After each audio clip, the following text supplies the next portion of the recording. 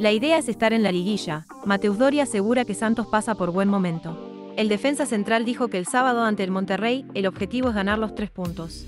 Mateus Doria destacó el buen momento por el que atraviesa Santos Laguna y aseguró que el sábado ante el Monterrey el objetivo es ganar los tres puntos. Defensa Central dijo que ese es el reto que tienen en su siguiente compromiso, que deben continuar en ascenso y mantenerse en la búsqueda de un lugar en la liguilla, siempre pensando en grande, porque es la esencia de Santos. El brasileño, quien ante el Pachuca regresó a la titularidad luego de cumplir con su suspensión, resaltó la actitud y el ADN mostrado por el conjunto verdiblanco en el compromiso frente a los Tuzos. El defensor carioca resaltó la importancia de mantener esos aspectos para asegurar un lugar en los puestos clasificatorios. La idea es siempre pensar en grande, siempre en pensar más allá, pero también somos conscientes de que no empezamos el torneo de la manera esperada, sin embargo le dimos la vuelta, recuperamos algunos puntos, entonces la idea es estar en la liguilla, ya sea vía repechaje o de manera directa, pero la idea es estar ahí, comentó. La Fentaneta, Eduardo Fentanes explica el éxito de Santos Laguna. Jornada 7 del Clausura 2022. Santos Laguna visitaba el Estadio Azteca para enfrentar al Cruz Azul, partido en el que no solo se jugaban sus primeros tres puntos de la clasificación, sino también la confianza de un grupo que necesitaba enderezar el camino en la competencia y responder a la exigencia de la afición de la mano del recién asignado técnico interino, Eduardo Fentanes. Minuto 5 del partido.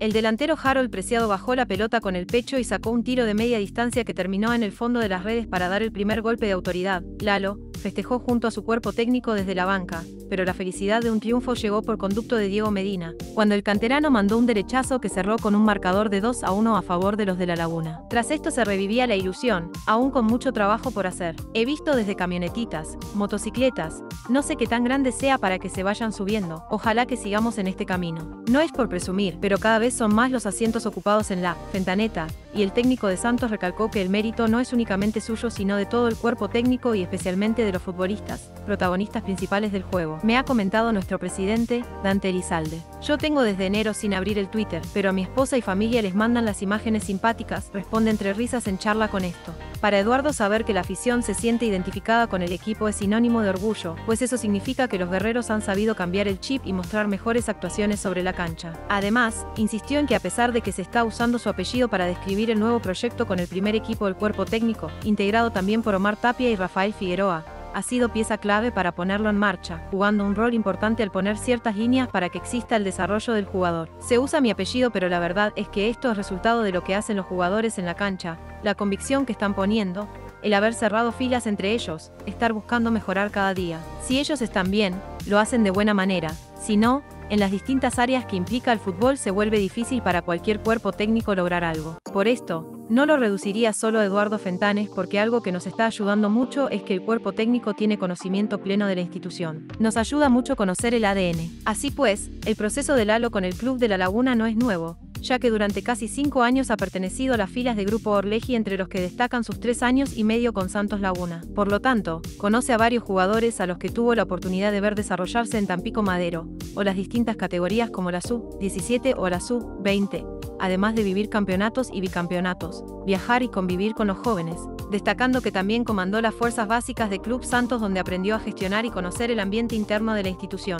Por lo anterior, Fentanes no duda en aplaudir el buen trabajo del estratega Guillermo Almada, quien en sus tres años con la institución albiverde le dio oportunidad a los más jóvenes de tener actividad con el primer equipo y al que ahora tuvieron la oportunidad de enfrentar el pasado domingo 3 de abril en la jornada 12 del Clausura 2022, en el duelo ante el Pachuca, mismo al que vencieron con un contundente 3 a 1 para reafirmar la comunión y confianza que existe en el vestidor guerrero. Vivir del fútbol parecía imposible, pero se cumplió. Es imposible. La dirección técnica es solo para jugadores, escuchaba en repetidas ocasiones Eduardo Fentanes Orozco, 9 de julio del 1977, Veracruz, por parte de sus compañeros de escuela y conocidos. Sin embargo, Lalo intentaba no desviar su atención de lo que muy pronto había descubierto como su principal pasión, el fútbol, por lo que su respuesta a los comentarios negativos siempre fue una frase que jamás podrá borrar de su mente, cuando te la crees hasta el hueso puedes lograrlo. En el caso de Lalo, el gusto por el balompié nació gracias a su hermano que es seis años mayor que él mismo que no logró hacer su carrera como futbolista pero hoy en día se dedica a este deporte. Incluso, llegó a formar parte de los cuerpos técnicos de Eduardo en Atlante,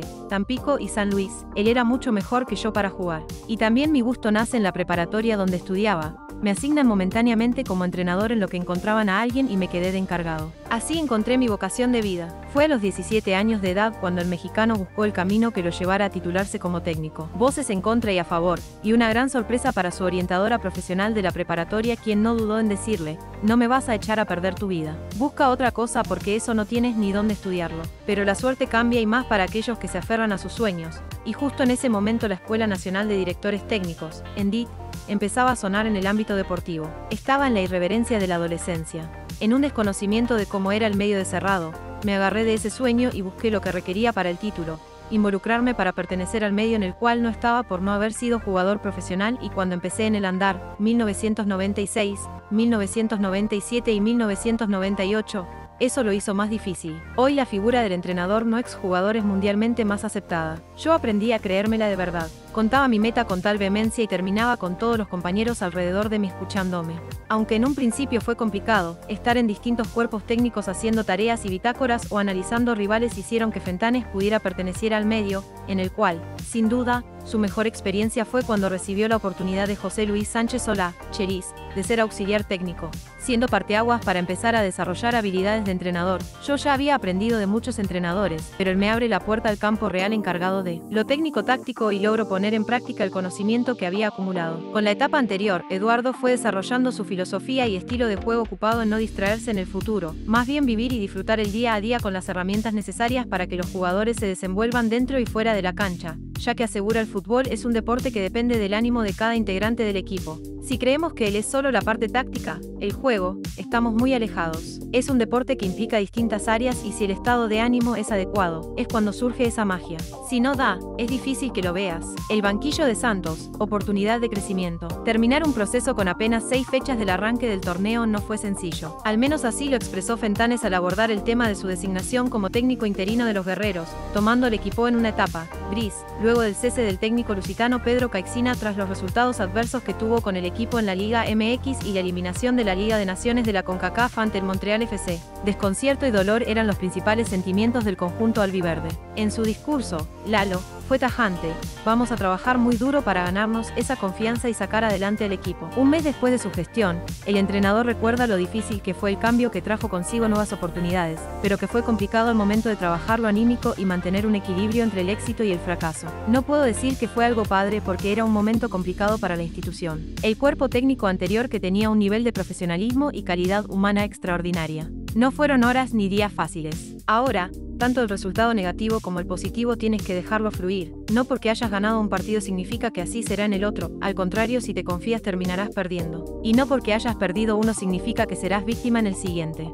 Tras lo anterior, respecto al tema de las oportunidades que se les otorgan a los mexicanos en el banquillo, agregó que la mayoría de las veces llegan en condiciones no tan fáciles y al final es algo que deben aprovechar capacitándose para consolidarse. Invertir el tiempo necesario para poder tener mi carrera se volvió mi vida. Todo gira alrededor del fútbol, incluso a mi esposa la conocí gracias a este deporte. Soy un agradecido y trato de devolverle con honestidad y humildad todo lo que me da.